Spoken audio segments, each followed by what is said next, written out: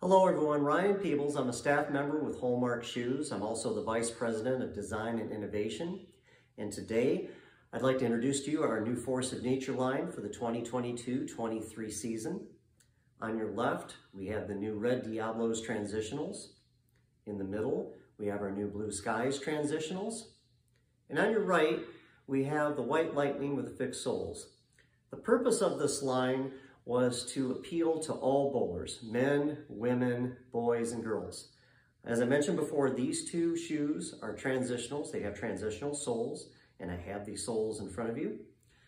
The H4 sole offers the most stopping power. The H6 offers stopping power with some slide, and the H8 offers the most slide. And what I'm gonna do right now is go in depth with the construction of our shoes. So let's take a look at the Red Diablos transitionals. Uh, apart from the eye-catching colors, what makes Hollmark unique is our high-top design. It's been a company exclusive since its founding in 2018. We take a look at the frame. It's constructed of a composite material in the toe cap and the mud guard. We also have it in the arch bandage and the eye stay. It's also found in the collar, which is two-toned, and also in the heel counter. And what this does is it offers durability with flexibility. It will not crack like leather. The mesh construction we have here in the vamp and also in the quarter with our Hollmark logo. It's also found in the tongue. And this allows the foot to breathe without sacrificing durability and support. The collar and tongue padding along with the insole and the shoe interior offer comfort on all parts of the foot. The toe roll, the midsole, and the wedge, all one-piece construction for the highest durability. Let's take a look at the bottom. As you can see, we have Velcro to allow for easy transition of the soles. We'll put our H6 sole. Sticks very easily. Uh, the heels, we do not have transitional heels.